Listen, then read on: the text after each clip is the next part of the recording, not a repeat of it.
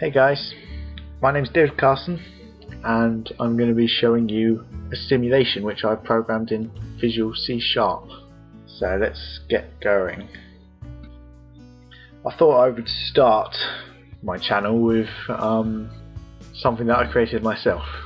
Seeing as it's the first video I'm uploading, feels right. This is basically a simulation. It's got ants in it and the ants run to the food sources pick up the leaves and carry them back to their colony. And as they go back they drop pheromones which other ants sense and follow to the food source. And as they take food from the food source it depletes. And over time it starts it grows back if it's left alone. Um, if, if I press the control key then it populates the world with lots of trees and colonies. All of the objects are populated inside of the world so I can move the camera around independently of the objects. If the colony gets 5 food then they're able to recruit one more ant so they can add an extra ant to the world. So the more food the colony gets the more ants they get but the ants have a lifespan and when they die they stop moving and can be picked up by other ants and taken back to the colony as food.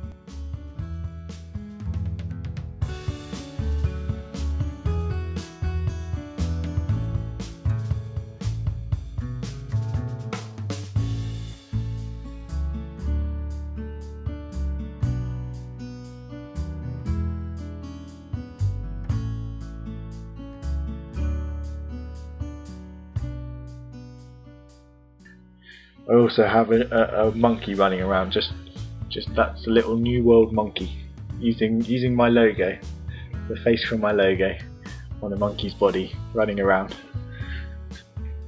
Also got a wasp's nest.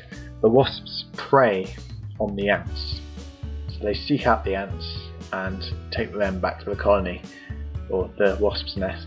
And the wasp's nest operates in a very similar way to the ant colonies get five food to get an extra wasp and the wasps have a lifespan as well.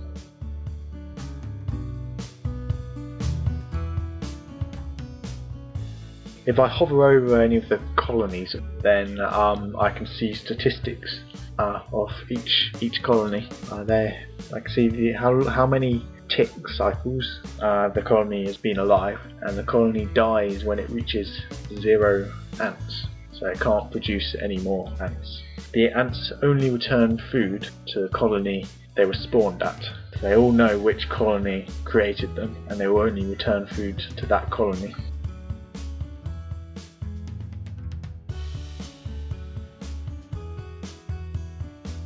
Okay, thank you for watching my video. Um, I welcome feedback on my simulation and any suggestions to improve it be more than appreciated. If you enjoyed the video, give it a like and subscribe to my fledgling channel. Thank you very much.